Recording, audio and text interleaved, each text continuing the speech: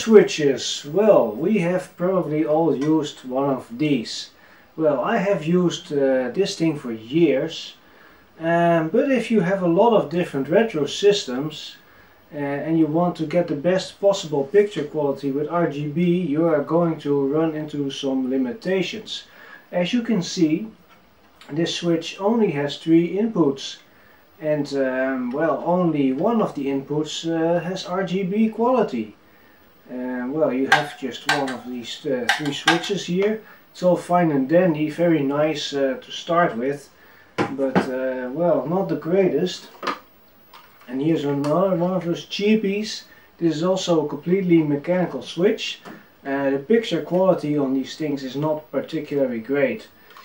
Uh, these are just really cheaply made and this one has RGB on all three inputs but um, you have to uh, have only one of these buttons selected. If you happen to uh, enable two of them at the same time you get crosstalk. You're going to see two pictures at the same time. Not a good solution. So therefore I have uh, come up with a better solution. Uh, my dad is an electronics engineer and uh, well, we decided to build our own. Yes, we have built our own solid state 10 input RGB switch and I'm going to give you a little demonstration. Well, first we have the uh, controls over here. Um, this is the power switch, these are the two input selections and this is a uh, mode switch for selecting between RGB and composite. Currently uh, the NES is uh, selected so it is in composite mode. Um, so I switch to the Super Nintendo uh, composite. With this switch it's uh, RGB now we're uh, running the Commodore 64 DTV Commodore 64 Mega Drive. Master System PlayStation 2, GameCube and I can just switch on the fly between RGB and composite. Um, this device does not auto detect the kind of input mode so you have to use the switch. Uh, I've also created a remote control that I will demonstrate shortly. This is a, a DVD player with my favorite movie on it. And uh, this is the DVR and you can easily cycle back and forth.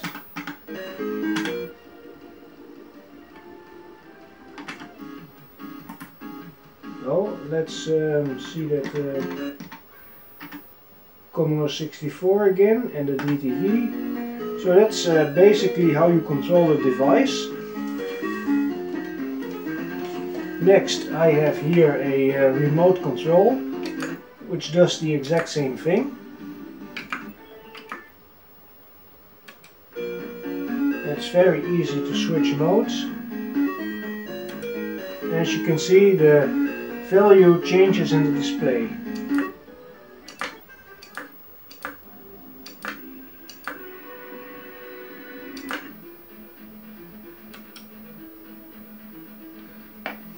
So that was a little bit of the uh, operation and now I will show you a bit of the uh, screen in action. So here's a, a, little demonstration of the system in action but now with uh, display. Uh, first game I'm showing here is uh, Batman uh, Return of the Joker on a Nintendo. Um, this is in composite mode uh, because the NES does not support uh, any RGB, at least not without really difficult modding. And when I flick the switch to RGB mode you see I get no picture. Um, so next system is Super Nintendo. This is uh, Pop'n TwinBee. Um, and it is an RGB mode. And now, uh, yeah. So, next system is a system that only supports composite. This is the um, C64 DTV. Next, Commodore 64. This is uh, the Mega Drive and the picture is in uh, monochrome uh, when it's in uh, 60 Hz mode and in composite but if I flick the switch to RGB I get color and RGB on the Mega Drive is absolutely fabulous. Uh, whilst I'm uh, filming it straight from the TV I'm also recording it uh, to my DVR so I can edit in a bit of footage in uncompromised quality. Um, especially for this reason I have fitted the SCART switch with two SCART outputs uh, and it uses a little amplification circuit for that so that you don't get any uh, signal quality loss. Uh, basically one uh, signal goes straight to the TV and the other SCART output goes to the uh, recorder and this allows me to uh, record gameplay footage without any lag problems. Next system, Sega Master System and this is Afterburner. This is a really great game. Um, so that's RGB mode and this is composite mode. And you see when I flick a switch in the top left corner of the screen the uh, mode changes and uh, that's well, basically done by the TV when it detects a certain voltage signal it uh, switches to RGB mode. Uh, some TVs don't display this but the better ones do um, so that's a way to verify if your uh, RGB cable is working. Um, by the way, the sync uh, that I'm using is simply sync on composite because that's the standard sync uh, method used by uh, European SCART cables. Um, if you are a real purist, you can also use a C-Sync cable. It will work with this uh, system. Um, but well, I, I think C-Sync is a bit unpractical for my purposes. Uh, it's just more convenient for me to just use a standard SCART RGB SCART cable for a system that uses the sync on composite. I think the difference in quality is kind of negligible in my personal experience. Uh, so this uh, next system here is um, the PlayStation 2 with uh, Lego Batman the video game. And this is a absolutely fabulous game, really good soundtrack with the original 1989 uh, soundtrack from Danny Elfman. And well, basically you play Batman in a Lego universe and it's a game I'm currently playing. It's a, really nice game. So, next we have um, the GameCube running Ice Age 2 The Meltdown. Very cutesy, uh, cutesy platformer. Really like it. Uh, so, that's that. And last one uh, is the ninth system attached to uh, SCART switch. And that's my DVD player. Well, the 10th system I have connected is the uh, DVR. The DVR is recorded to both an input and an output. But because I'm recording now, I cannot really uh, switch to that device. Uh, but uh, well, so this is the um, DVD player demonstrating my favorite movie of all time, The Lift. Really nice movie with an awesome soundtrack. So that was about it, I guess, for um, the systems shown in action. Uh, I think it's time to um, have a look around the back.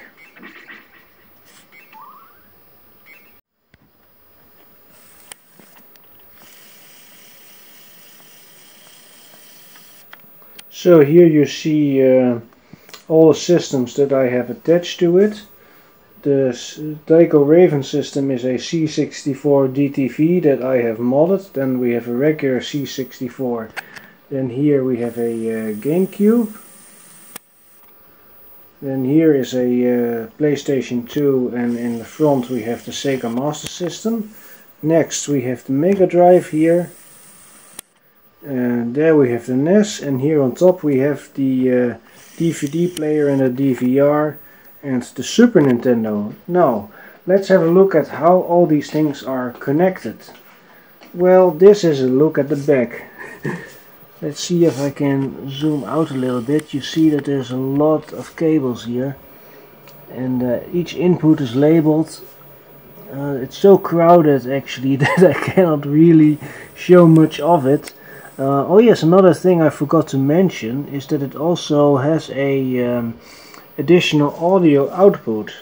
Um, so I can uh, have the sound on my amplifier, which is really nice. So I have really great sound as well.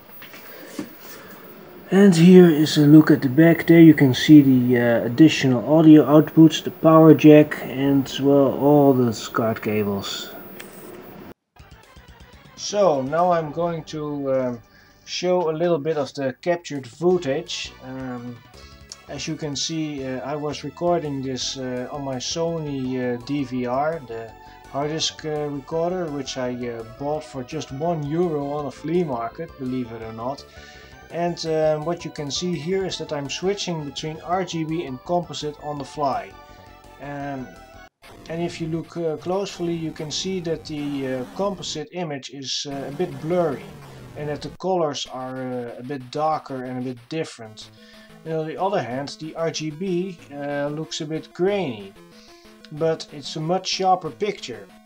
So um, that's a bit of the comparison I'm doing here and uh, well, well I think you can uh, drastically see the differences and now we're going to uh, compare the two side by side. Uh, this is uh, Turtles in Time on the Super Nintendo and well I think you can quite clearly see a bit of difference here. Uh, the composite in this case looks a bit brighter than the RGB, I'm not sure why but uh, still the uh, RGB looks a bit uh, sharper. Um, the difference is very visible in things like logos and text. Um, as you can see the text, uh, the Konami copyright text and the menu text is a bit more visible on the RGB image. Uh, and well, this is uh, gameplay footage side by side. Um, you can still see a little bit of difference. Uh, for instance, the white colors, um, let's say the status panel that indicates the, the player and the score and the likes. Um, just the, the border of it uh, is just a bit more defined on the RGB image. And also the shading on the demolition ball is a bit different. Um, so that's about, uh, well, for the uh, graphical comparisons.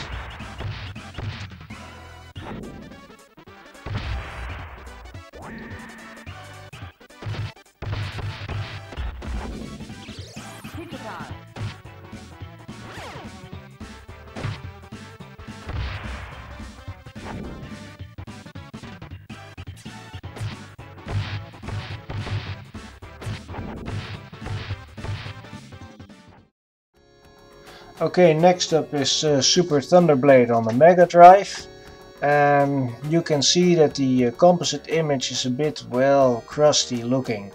Uh, the Sega logo on the RGB uh, looks a bit brighter um, and just overall sharper.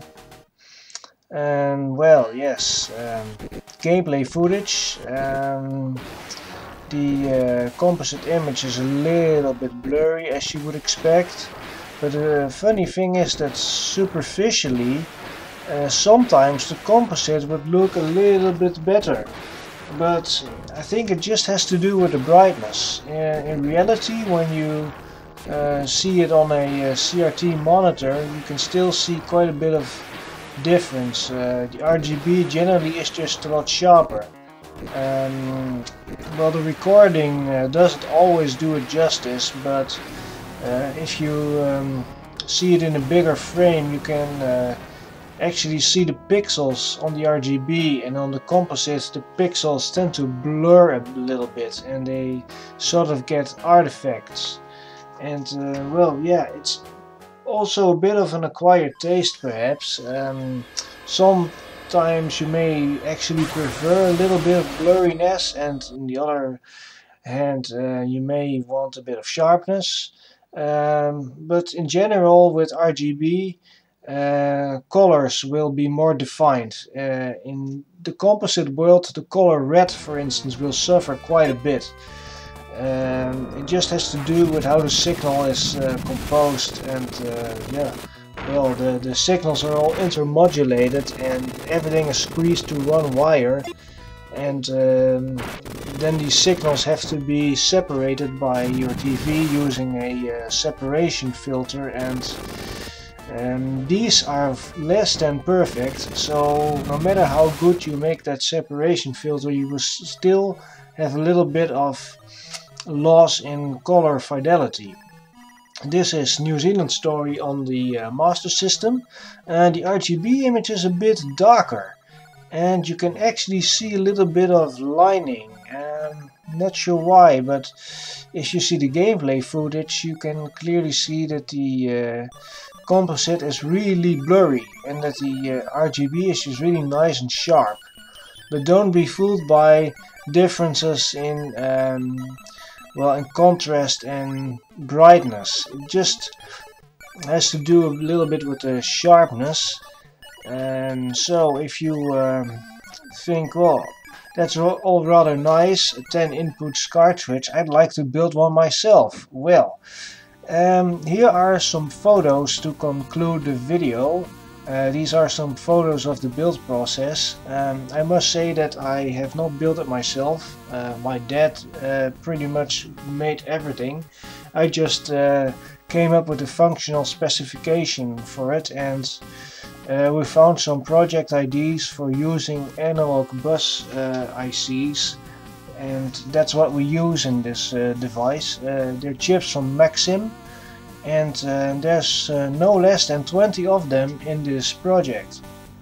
The reason being that uh, we need to switch 8 signals per input and uh, well therefore you need two chips because one chip can only handle 4 signals and so um, that's why also the price for unit uh, was rather expensive.